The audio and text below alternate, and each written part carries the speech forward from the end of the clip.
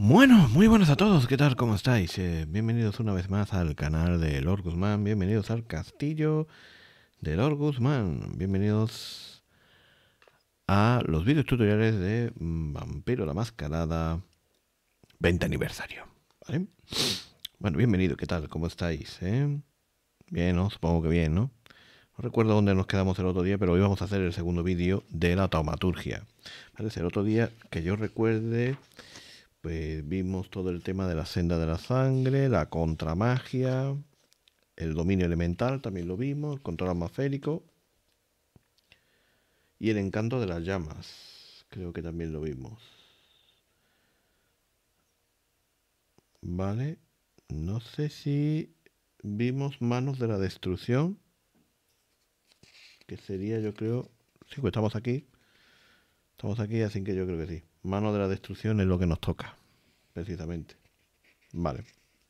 Lo tengo marcado.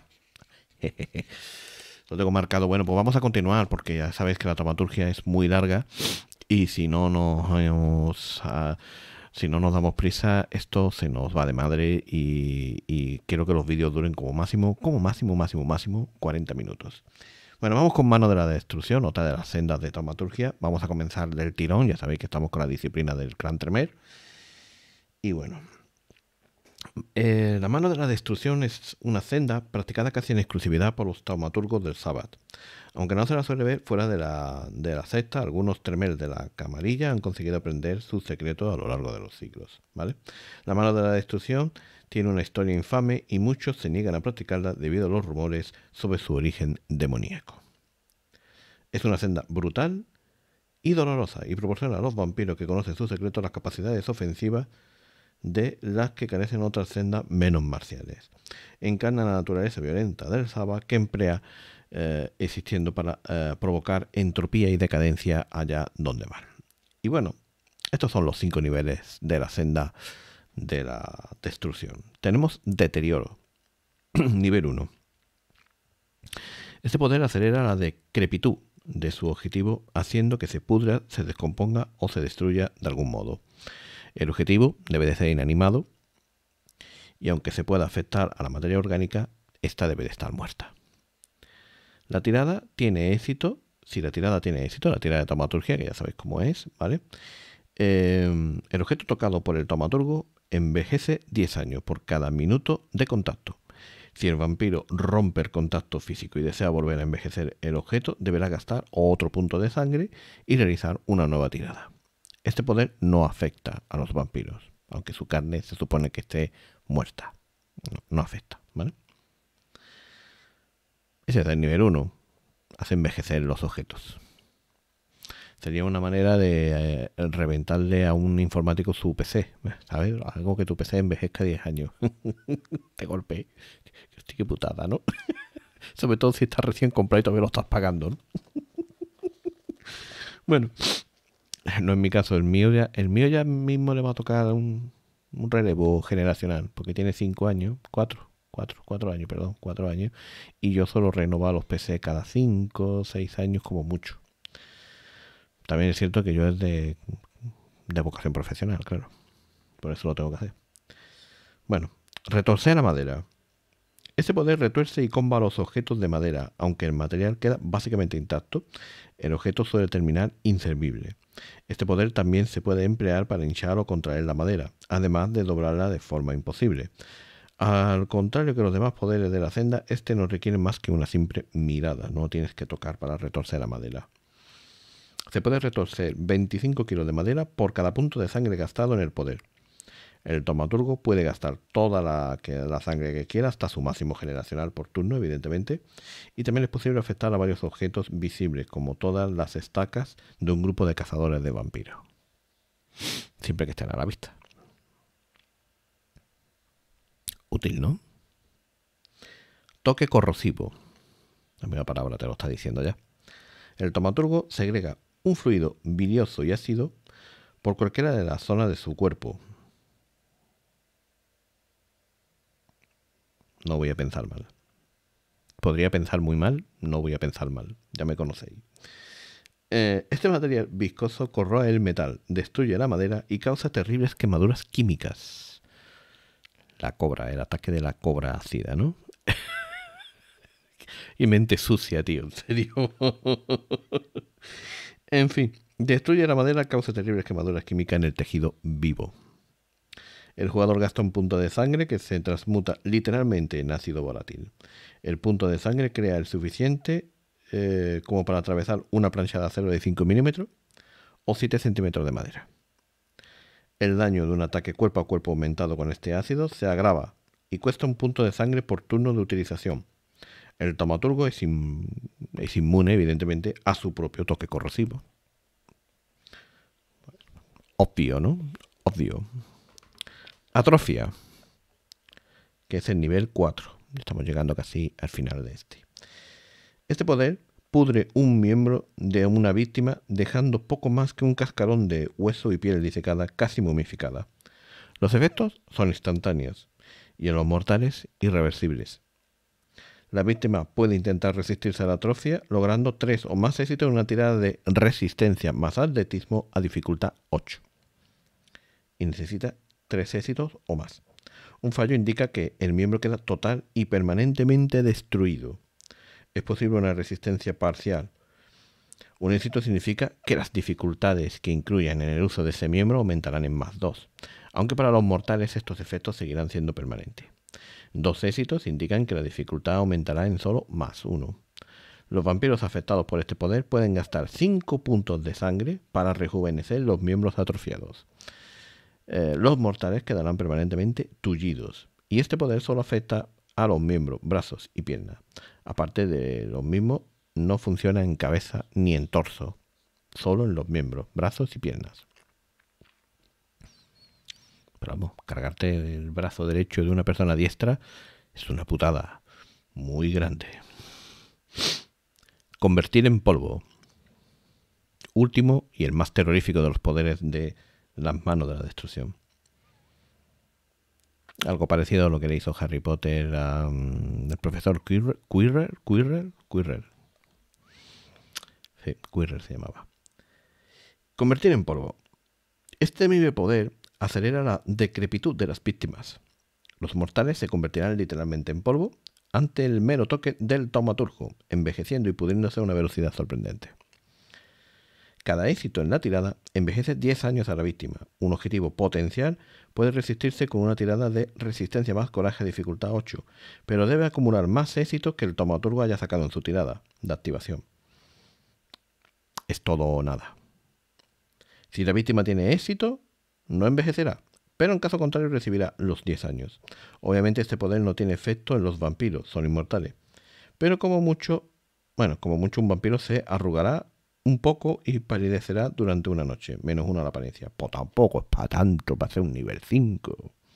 Hombre, es para los mortales, una putada. Cuando un mortal que tenga 10 años, le metes 10 años, no es mucho. Le metes 30 años y, hombre, hostia, el niño pasa a ser un adulto ya mm, que tiene que revisarse la próstata, ¿no? es una putada para un humano, pero para un, para un vampiro yo pensaba que era más bestia, te lo digo en serio, ¿eh? Te lo juro, ¿eh? Pensaba que iba a ser bastante más heavy, pero no. Bueno, vamos con movimiento mental, que es la siguiente senda que vamos a ver, ¿vale? Movimiento mental es una senda que da al tomaturgo la habilidad de mover objetos telequinéticamente mediante el poder místico de la sangre.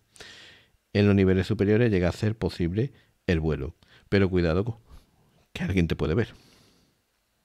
Los objetos para el control del personaje pueden ser manipulados como si tuvieran en la mano pueden ser levantados, girados, lanzados al aire e incluso arrojados. Pero para crear la fuerza necesaria para causar daño real se requiere dominar al menos el nivel 4. Algunos tomaturgos expertos en la senda de movimiento mental la usan para proteger su refugio animando espadas, hachas y armas de fuego para expulsar a los intrusos. Obvio también, ¿no? Vale, el sistema. El número de éxito indica la duración del control del vampiro sobre el objeto o sujeto. Cada uno permite un turno de manipulación, aunque el vástago puede intentar mantener el control pasado el tiempo, haciendo una nueva tirada. No hace falta gastar más sangre. Si la tirada tiene éxito, se puede seguir manipulando el objeto. Si el tomaturgo pierde o relaja el dominio sobre un objeto y vuelve más tarde, el jugador deberá de gastar un nuevo punto de sangre al considerarse un nuevo intento. Y esto es el movimiento mental, ¿vale? Em, pues con este movimiento mental, pues con un éxito puedes mover una libra o medio kilo, con dos éxitos 10 kilos, con tres 100 kilos, con cuatro 250 kilos y con cinco 500 kilos. Y no hay niveles porque el movimiento mental es siempre lo mismo. ¿Vale? Vale. Y ahora vamos con Poderío de Neptuno. Que nada más que con el nombre, me imagino que ya iréis pensando eh, qué es lo que podéis hacer con Poderío de Neptuno, evidentemente. Algo referido con el agua, el mar y todo ese tipo de cosas, porque Neptuno, después de todo, era el dios del mar. Los vampiros rara vez se asocian al océano, en la mayoría de la mitología. Y gran parte de los vástagos no tienen nada que ver con las grandes masas de agua porque no tienen ningún motivo para tenerlo. Sin embargo, el poder de Neptuno ha contado con un número pequeño de devotos, de partidarios, durante siglos, entre los taumaturgos de la camarilla. Esta senda está basada fundamentalmente en la manipulación de aguas tranquilas, aunque algunos de sus efectos más inquietantes se alejan de este principio. En cuanto al personaje alcanza el poder eh, de poderío de Neptuno, el jugador puede escoger especializarse en agua dulce o salada. Dicha especialización lo que hace es reducir un menos uno todas las dificultades de poderío de Neptuno cuando se trata del medio elegido, pero aumenta más uno el opuesto. Para ese particular se considera que la sangre no es ni dulce ni salada y que las dificultades de manipular una u otra no se ven afectadas. ¿vale? Y los niveles son 5 y son bastante amplios. El primero, los ojos del mar donde un tamaturgo puede observar una masa de agua y ver acontecimientos que hayan tenido lugar dentro, cerca o sobre esa masa de agua. Algunos viejos practicantes de este arte afirman que el vampiro se comunica con los espíritus del agua. Algo parecido a lo que se puede ver en la leyenda de los cinco anillos, cuando se comunican con los espíritus. Solo que la leyenda de los cinco anillos te puedes comunicar casi con cualquier espíritu, agua, de cualquier elemento, agua, aire, tierra, fuego. Bueno. El sistema. El número de éxitos obtenidos determina lo lejos que puede mirar un personaje en el pasado. Con un éxito, un día. Con dos éxitos, una semana.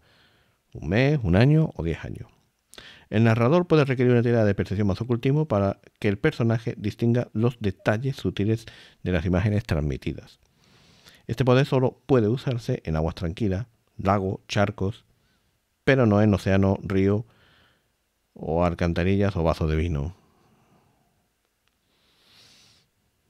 No entiendo por qué. Bueno, un vaso de vino realmente no es agua tranquila, es que no es agua, es vino.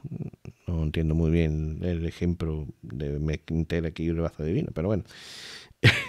el vaso de vino lleno de agua, sí. El vaso de vino lleno de es agua tranquila. No entiendo yo por qué no. Bueno, porque a lo mejor no tiene mucha vida pues que no, no, entiendo el ejemplo. y las alcantarillas, bueno, pues las alcantarillas sí corre el agua. Ahí sí, porque quieras que no, corre el agua en una alcantarilla mm, cuando tú tiras la cisterna que yo tira, ¿no? Y, va, tiene un flujo, digamos, no es un agua tranquila precisamente. Un lago y una charca mm, es más tranquila, se mueve menos el agua, aunque hay algunos lagos que tienen algunas corrientes que podríais flipar en colores. Con lo cual tampoco entiendo muy bien ese símil. Pero bueno, son los ejemplos que pone el juego. No me voy a meter en más detalle. Prisión de agua. El taumaturgo puede ordenar a una cantidad lo suficientemente grande de agua que se anime y encarcele a un sujeto. Este poder, algo parecido a lo que hizo Dumbledore para atrapar a, a este a, a Voldemort en la cuarta película, puede ser, la cuarta, quinta. La Orden del Fénix. Quinta, ¿no? Eh, lo, envuelve en un, globo de agua y luego el otro lo convierte en hielo. No, sé si recordáis esa escena. Pues yo me lo imagino algo así en la prisión de agua. Este poder requiere una cantidad importante de fluido para que sea eh, totalmente eficaz, aunque incluso se puede emplear unos cuantos litros para crear cadenas de agua animada. Ya esto es distinto el poder a lo que yo me estaba imaginando. Los mortales sujetos a los efectos de este poder pueden ahogarse si el taumaturgo no tiene cuidado, o si así lo quiere. E incluso los vampiros pueden ser aplastados por la presión extrema que deben soportar. Hostia, esto es más tocho que todo el nivel anterior, ¿sabes? que se supone que era más tocho, el de la corrupción. esto me parece más tocho. el número de éxito obtenido en la tirada es el número de éxito que debe de sacar la víctima de una tirada en fuerza, dificultad 8. La potencia se suma a los éxitos para liberarse de la presión de agua. Un sujeto puede ser retenido solo en una prisión al mismo tiempo, aunque el taumaturgo puede invocar varias veces este poder sobre, la sobre víctimas distintas y puede disolver sus propias prisiones si así lo quiere. Si no hay disponible una cantidad suficiente de agua, al menos una bañera llena, se suma un más uno a la dificultad de la tirada de fuerza de voluntad para poder activar este poder. Claro, si no hay agua, no sé de dónde os te vas a sacar, pero bueno. Bueno, sangre en agua. Nivel 3. Llevamos 16 minutos. Vamos muy bien. El taumaturgo ha conseguido suficiente poder sobre el agua como para poder transmutar otros líquidos en este elemento básico. El uso más habitual de este poder es como ataque. Solo con un toque, la sangre de la víctima se transforma en agua, debilitando a los vampiros y matando a los mortales instantáneamente. Este es muy tocho. Es lo que estoy diciendo. El otro se supone que era más tocho y yo a este lo veo más tocho. Poderío de Neptuno. ¿Qué quieres que te diga? El personaje, eso sí, debe de tocar a la víctima deseada. Y el jugador tira normalmente. Una tirada de fuerza voluntad de siempre, ¿no? Eh, cada éxito convierte uno de los puntos de sangre de la víctima en agua. Un éxito mata a un mortal en cuestión de minutos. Los vampiros que pierden puntos de sangre con este poder también sufren penalizaciones a su reserva de dados, como si hubieran recibido una cantidad equivalente de niveles de salud de heridas. El agua se queda en el sistema del objetivo por este ataque y se evapora a razón del equivalente a un punto por hora, pero la sangre perdida no regresa. A criterio del narrador, con este poder se podría convertir en agua otro líquido, se resta un menos uno a la dificultad de dicha acción a menos que la sustancia sea de naturaleza especialmente peligrosa o mágica. El personaje aún debe tocar la sustancia o su recipiente para usar este poder. Para mí, para hacer un nivel 3 es muy tocho, en mi, mi opinión. Bueno, luego tenemos el nivel 4 que es mulo fluido. Los relatos de la incapacidad de los vampiros para cruzar corrientes de agua pueden proceder de los testigos, los testimonios confusos de presenciar este poder. El tomaturgo puede animar agua a un grado mayor que el que es posible mediante el uso de prisión de agua, ordenando que se levante en forma de barrera impenetrable para casi cualquier ser. El personaje toca la superficie de la masa del agua, tranquila, gasta tres puntos de fuerza de voluntad y otros tres de sangre, Perdón, no. Repito, porque me estoy haciendo la picha un lío. El personaje toca la superficie de una masa de agua tranquila. Hasta ahí, todo bien, todo correcto y yo que me alegro. El jugador después va a gastar tres puntos de fuerza de voluntad. Ahí sí, ¿vale? Y los puntos de sangre necesarios. No te especifica cuántos, que yo me he envalentonado y he dicho ya, pues unos tres, no, los que sean necesarios. Y tira de manera normal. Los éxitos se aplican tanto a la anchura como a la altura del muro. Cada éxito compra 10 pies, por así decirlo. se hace que el muro tenga 10 pies, que son unos 3 metros. Para, hablando en, terminología eh, decimal, que es la que usamos en Europa, en todas partes menos en Inglaterra, sería 3 metros. El muro puede situarse en cualquier sitio que esté en la línea de visión del personaje. Y debe formarse en línea recta. Dura hasta el siguiente amanecer. No se puede trepar por él, pero sí se puede intentar rodear flotando. Para atravesar la barrera, cualquier ser sobrenatural, incluidos los seres que traten de pasar por el muro en otros niveles de la existencia, como los fantasmas, deben de obtener al menos Tres éxitos en una sola tirada de fuerza de voluntad a dificultad 9. Como protección es bastante útil. Y luego tendríamos deshidratar, que para mí es... Este, este poder es muy bestia. Ya que con este dominio, el tomaturgo puede atacar directamente a los objetivos vivos o no vivos, eliminando el agua existente de sus cuerpos. Las víctimas muertas por este poder dejan cadáveres horriblemente modificados. Este poder también puede usarse con propósitos menos agresivos como el secado de ropas húmedas o para evaporar charcos, para evitar que otros practicantes de la senda puedan usarlo. Este poder puede usarse sobre cualquier objetivo que esté en línea de visión del personaje. Un jugador tira normalmente. La víctima resiste con una tirada de resistencia más fortaleza a dificultad 9. Cada éxito obtenido por el tomaturgo se convierte en un nivel de salud de daño letal infligido sobre la víctima. Esta herida no puede absorberse. La tirada de resistencia reemplaza a la absorción de daño de ese ataque. Pero puede curarse de manera normal. Los vampiros pierden un punto de sangre en vez de niveles de salud, aunque si un vampiro no tiene puntos de sangre, este ataque produce pérdida de niveles de salud como lo haría contra un mortal. La víctima de este ataque también debe de tirar coraje. La dificultad es el número de éxitos obtenido por el taumaturgo más 3 para poder actuar en el siguiente turno al ataque. Un fallo quiere decir que está postrado por el dolor y que no puede hacer nada. Es tocho, es tocho. Es cierto que hay niveles anteriores que me parecen más tocho todavía incluso, pero es tocho, es tocho. Es, tochete, o sea, puede ser bastante pupa.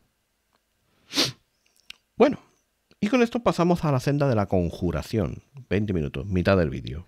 Y hemos avanzado, pues más o menos lo que yo quería avanzar. Vale, la senda de la, conjuración. La senda de la conjuración eh, sirve para la invocación de objetos de la nada. Ha sido una de las principales leyendas ocultistas sobrenaturales desde mucho antes de la creación del Gran Tremer. Esta senda taumatúrgica permite realizar eh, poderosas conjuraciones limitadas solo por la mente del practicante. Los objetos creados de la nada mediante esta senda comparten dos características. Una, son uniformemente genéricos y todos, y, todos ellos, y si se les conjura por una segunda vez, tienen el mismo aspecto que la primera vez que fueron conjurados. Por ejemplo, un cuchillo regresará exactamente igual si se conjura una segunda vez, e incluso un cuchillo específico, el que empleó el padre del personaje para amenazarle sería idéntico cada vez que fuera invocado. Una rata tendría los mismos dibujos en el pelaje y la basura siempre tendría la misma textura. El límite del tamaño de los objetos conjurados parece ser el del propio conjurador. No será posible crear de nada mayor que él. El tomaturgo también deberá tener cierta familiaridad con el objeto que desea crear. Trabajar con una fotografía o con la imaginación aumenta la dificultad, Mientras que si se utilizan cosas que el vampiro conoce bien, como el cuchillo anterior, se podría llegar a bajar la, dificultad si el narrador lo hubiera conveniente. Niveles. Nivel 1. Invocar la forma sencilla. Con este nivel de dominio, el tomaturgo puede crear objetos sencillos e inanimados.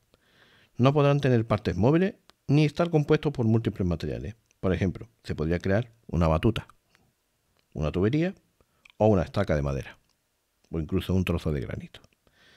Cada turno que el vampiro eh, conjurado quiera mantener la existencia del objeto, debe de gastar un punto de fuerza de voluntad. Permanencia, nivel 2. Este nivel del conjurador ya no tiene que seguir gastando los puntos de fuerza de voluntad para hacer que el objeto se mantenga.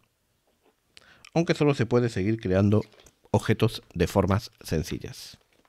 Y el sistema es igual que el anterior, solo que ya no tienes que gastar fuerza de voluntad, ¿vale? Y eso sí, el jugador debe de invertir tres puntos de sangre para que el objeto se haga real y dure para siempre. Luego tenemos la magia del herrero. El vástago ya puede conjurar objetos completos de múltiples componentes y partes móviles, por ejemplo, una pistola, una bicicleta, una sierra eléctrica o un teléfono móvil. Los objetos creados mediante este poder son permanentes y cuestan 5 puntos de sangre. Los más complejos suelen requerir una tirada de conocimiento de pericia, ciencia y tecnología, además de la tirada básica.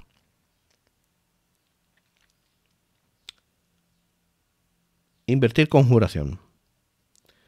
Pues este poder permite al conjurador desintegrar, desintegrar, me pasa en la boca, un objeto conjurado previamente con esta senda. Se trata de una tirada extendida en la que el conjurador debe acumular tantos éxitos como eh, recibiera el invocador original a la hora de crear el objeto en cuestión. Este poder también puede ser utilizado por el tomaturgo para hacer desaparecer un objeto que creó con esta senda. y es el nivel 4. Digamos que es el reverso del 3. No lo entiendo, podrían haberlo metido los dos en el mismo nivel, como se hacen en otros juegos como Dungeons, donde puedes curar y hacer daño. Y no tener un nivel 4 ahí que ni chicha ni limonada. Y luego tenemos el nivel 5, poder sobre la vida. Este objeto no puede crear verdadera vida, pero sí simulacros. Las criaturas y personas conjuradas con este poder carecen de voluntad propia para actuar por su cuenta, por lo que siguen sin duda las instrucciones de su creador. Las personas creadas de esta manera pueden ser sometidas al uso del poder de dominación, posesión, si se desea. El jugador gasta 10 puntos de sangre, la criatura invocada de este modo, imperfecta e impermanente, son demasiado complejas para existir mucho tiempo. Una semana después de la conjuración, los simulacros de la vida desaparecen. Es tocho, pero para crearte un sirviente que te proteja o algo así, tampoco. Y bueno, pues con esto, después de 26 minutos, llegaríamos a la senda de la corrupción, que es la siguiente de la que vamos a hablar, ¿vale? Y, eh, oye, hemos avanzado bastante bien, ¿no? Estoy contento, estoy contento, sí, porque teniendo en cuenta lo pesada que es la tomaturgia, todo lo que avancemos hoy son pasos que no tenemos que avanzar otros días. Bueno, eh, la, senda de la corrupción, ¿no? Es la que vamos, de la que íbamos a hablar. A ver si en estos 14 minutos me da tiempo de nombrarla entera. Y yo creo que casi que con esta terminaremos. Vale, los orígenes de esta senda se discuten apasionadamente entre aquellos que están familiarizados con sus complejidades. Una teoría sostiene que los demonios enseñaron sus secretos a los Tremer y que eh, su uso acerca eh, eh, se acerca peligrosamente a los practicantes de los poderes infernales, los infernalistas. ¿no? La segunda opinión insinúa que la senda de la corrupción es un remanente de cuando el clan aún era mortal. No lo sé. Pica la nariz y no tengo ganas de pelearme con nadie.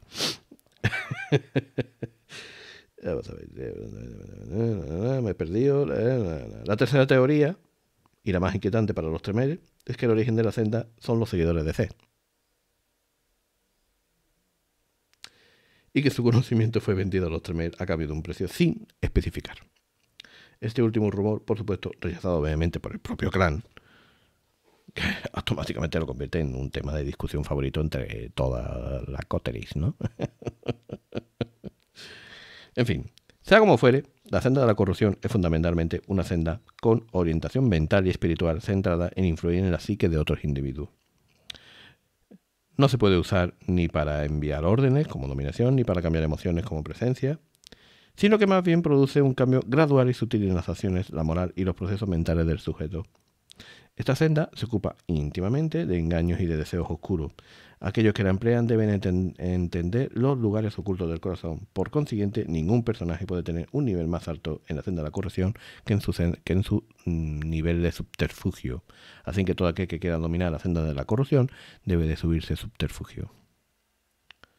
Bueno, y los niveles que, que tenemos para esta senda son contradecir.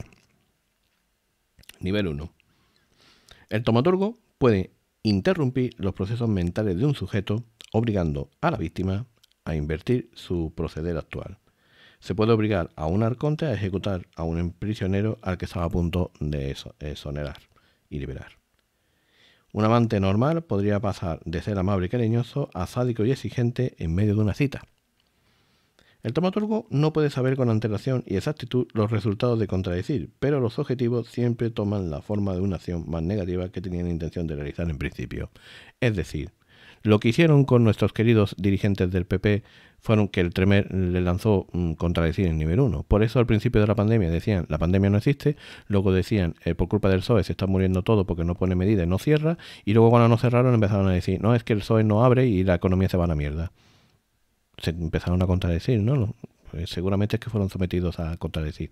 Y podríamos decir lo mismo también del propio PSOE, para que no penséis que estoy atacando a un partido en lugar de a otro y que no sé qué, que ya sabéis que yo soy un poquito de izquierda, pero no. Podríamos decir también lo mismo del otro partido, de al principio, no, se va resfriado tres personas nada más, como mucho. Luego, uff, esto es muy chungo, señoras y señores, nos encerramos en casa. Y luego al poco tiempo, no, hay que abrir, es que si no abrimos, la economía se va a la mierda. También lo, hicieron, también lo hizo el PSOE, ¿no? y ahora, por ejemplo, no nos quieren encerrar ni para el copón bendito. O sea, como mucho, ahí un poquito perimetralmente, no, no nos vayamos a venir muy arriba. Los políticos están constantemente sufriendo contradecir. Los tremer deben de manejar la política de todos los países del mundo. Estoy segurísimo de eso. bueno, nivel 2. Subvertir. Este poder sigue el mismo principio que contradecir, la liberación del lado oscuro y autodestructivo del sujeto. Sin embargo, y aquí viene la diferencia, los efectos de subvertir son más duraderos que el destello momentáneo de contradecir. Bajo la influencia de este poder, las víctimas actúan según sus tentaciones reprimidas, persiguiendo objetivos que su ética o su autocontrol les prohibiría en circunstancias normales. Volviendo a los ejemplos de política, convertir que la gente de la CUP a partir de ahora quieran ser españoles y lleven la bandera de España a todos lados. Pues eso. estoy muy de coña. No tomarse nada en serio de lo que estoy diciendo, porque como me, toméis en serio me vaya a cocer a dislike. No, es una coña, ¿vale? Que nadie se me sienta ofendido. Por favor. bueno, sistema. Este poder requiere que el personaje cruce la mirada con la víctima deseada. Ya sabéis que eso pasa como en dominación, ¿no? Y el jugador tira de manera normal. Si el objetivo se resiste, o mejor dicho, si el objetivo se quiere resistir, debe de realizar una tirada de percepción más subterfugio. La dificultad es la manipulación más subterfugio del tomaturgo. Si el tomaturgo logra más éxito, la víctima se siente inclinada a seguir su deseo reprimido y vergonzoso durante el periodo de tiempo descrito a continuación, dependiendo de éxitos, ¿no? Un éxito son 5 minutos, de 5 minutos a una semana, más o menos. El narrador establece el deseo objetivo que persigue la víctima. Debería tener relación con los defectos psicológicos que posea ah, o con los aspectos negativos de su naturaleza. Por ejemplo, un solitario que desea aislamiento hasta tal punto que se vuelva violento si se le obliga a asistir a una reunión social. Vale, entonces subvertir es más bien influenciar más todavía. Entonces los de la culo que harían es directamente ya pues, pegarse de hostia contra todo el mundo para conseguir la independencia. Lo cual esperemos que no llegue a pasar nunca. El sujeto no debe seguir todas las horas este nuevo objetivo, pero si surge la oportunidad de sucumbir y quiere resistir el impulso, debería gastar fuerza de voluntad. Vale. Con este tipo de niveles, los que quieren dejar de fumar no lo lograrían nunca. Por poner un ejemplo. Qué putada. Bueno, disociar. Divide y vencerás. Una de las máximas bien entendida por los tremer y disociar es una herramienta poderosa con la que dividir a los enemigos del clan. Este poder se usa para romper los lazos sociales y las relaciones interpersonales. Incluso el amorío más apasionado o la más vieja amistad puede enfriarse mediante el uso de disasociar. Y los lazos personales más débiles pueden destruirse por completo. El personaje debe de tocar al objetivo y el jugador hace una tirada de manera normal. El objetivo se resiste con una tirada de fuerza voluntad. La dificultad es la manipulación más empatía del tomaturgo. La víctima pierde tres dados en todas las tiradas sociales durante un periodo de tiempo determinado con el número de éxito obtenido por el tomaturgo. Esta penalización se aplica a todas las tiradas que se hacen en los atributos sociales, incluso aquellas necesarias para el uso de disciplina. Si este poder se usa sobre, y voy a doblar la paginita, sobre un personaje que haya participado en la Baudelie del sábado o en un ritual similar, se resta menos los valores del vínculo de ese personaje eh, mientras dure el efecto disasocial. El principal efecto es más una cuestión de interpretación que de regla del juego. La víctima de este poder debería interpretarse como introvertida, recelosa y emocionalmente distantes. El narrador debería exigir con toda libertad el gasto de fuerza de voluntad a todo jugador que no siga esas pautas. Joder muy heavy. Y luego tendremos adición y dependencia, que son los dos últimos niveles. Bueno, adición más o menos creo yo que es muy largo lo que hay que leer, pero me imagino para qué sirve, ¿vale? adición es una variante mucho más potente y dañina de subvertir.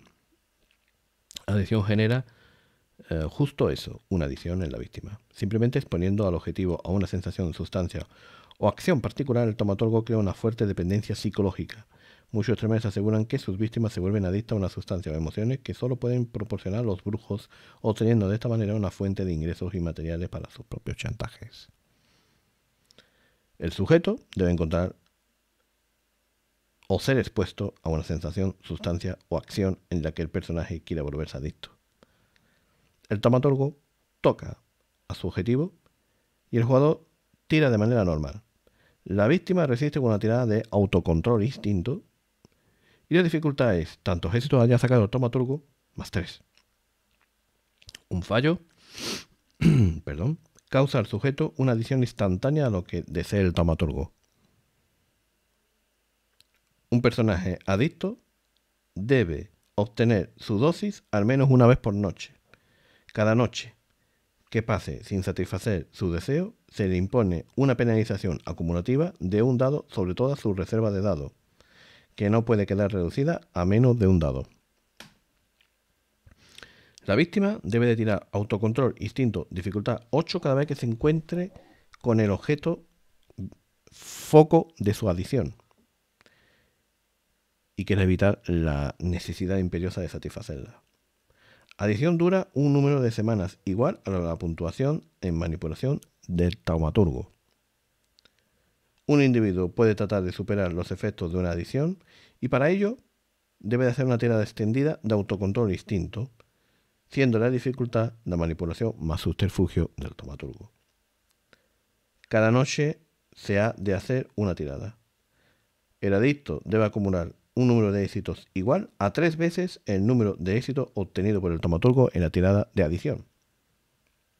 La víctima no puede satisfacer su adición mientras esté acumulando estos éxitos. Si lo hace, todos los éxitos que tenía acumulados, a la mierda. ¡A la mierda! Hay que tener en cuenta que la reserva de dados de autocontrol distinto se reduce cada noche que la víctima pasa sin alimentar su adición. O sea, es bastante jodido. Es, coño, convierte a la gente en junkie. Totalmente.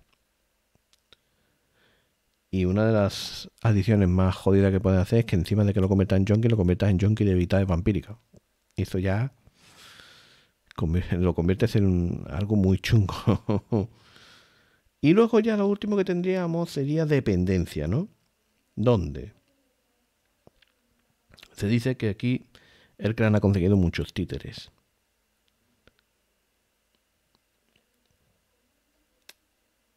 Y, que además estos títeres suelen decir que siempre han tenido esa sensación similar a depresión cuando no estaban en presencia de sus amos. Habitualmente esto se atribuye a un vínculo de sangre, pero a menudo es el resultado del dominio por parte del tomaturgo de la senda de la corrupción con el dominio de dependencia.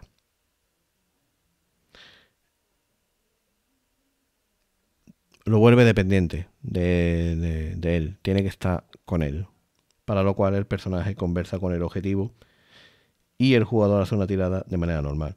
La víctima tira autocontrol instinto y la dificultad es el número de éxito obtenido por el taumaturgo más 3. ¿Qué pasa si se falla? Pues que la psique de la víctima ha sido sutilmente vinculada a la del tamaturgo durante una noche por cada éxito logrado por el tamaturgo. Una víctima vinculada no es menos propensa a atacar a su controlador y no siente emociones especialmente positivas hacia él. Sin embargo, es adicto psicológicamente a su presencia y sufre un dado de penalización cuando no está cerca suyo o no está realizando alguna labor para él. Adicionalmente, es mucho menos resistente a sus órdenes y su reserva de dados se dividen entre dos cuando intenta resistir sus tiradas sociales de presencia o de dominación. Por último, es incapaz de recuperar la fuerza de voluntad cuando no está en presencia del taumaturgo, o sea que lo jode, lo jode, o sea, o estás con el taumaturgo o estás jodido. Socialmente eres una puta marioneta, o sea, un muñequito de trapo. Es bastante jodido, ¿eh? es bastante jodido. Bueno, y con esto vamos a, vamos a dejar vamos a cerrar el vídeo y vamos a contar un poco lo que nos vendría para la tercera parte, donde tendríamos la senda de Marte, la de la tecnomancia, que por cierto voy a poner ya el gestito aquí en el libro para saber dónde estamos. Eh, la senda de la venganza del padre. Estas son muy largas todas. Y yo creo que, como mucho, la senda verde. y ya empezaríamos con los rituales. El cuarto vídeo de taumaturgia, pues sería para los rituales. Y hombre, a mí me gustaría cerrar los rituales en un solo vídeo, pero es complicado porque son muchísimos rituales, pero, pero, pero mucho. pero muchos rituales, pero una barbaridad, pero una, una, una puta locura, ¿vale? Con lo cual lo dudo.